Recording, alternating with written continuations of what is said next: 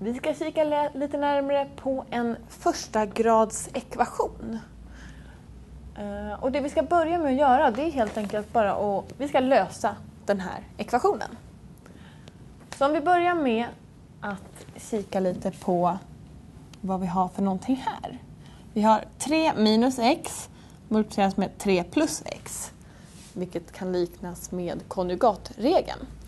Så om vi börjar med att lösa ut de här parenteserna för att få ett lättare uttryck att använda oss av. Och eftersom det är konjugatregeln så vet vi att konjugatregeln ger oss 3 upphöjt till 2 minus x upphöjt till 2.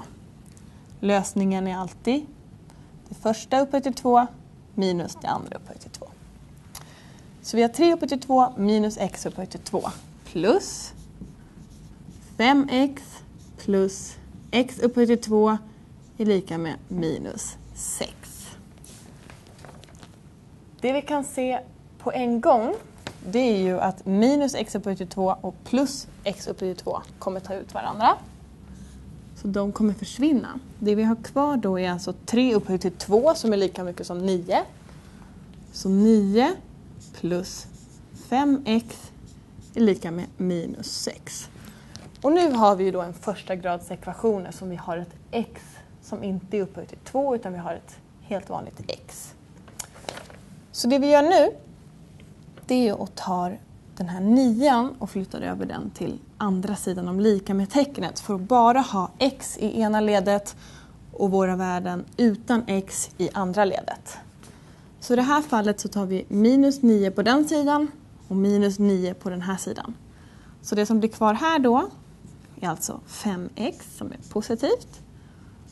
Och det vi får här är minus 6x minus 9 som är lika med minus 15. Vi vill ju lösa ut vårt x.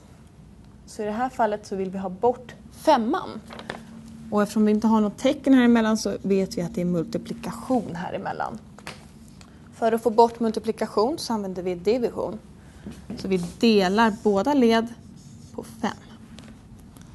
Så x blir kvar här, eftersom de tar ut varandra.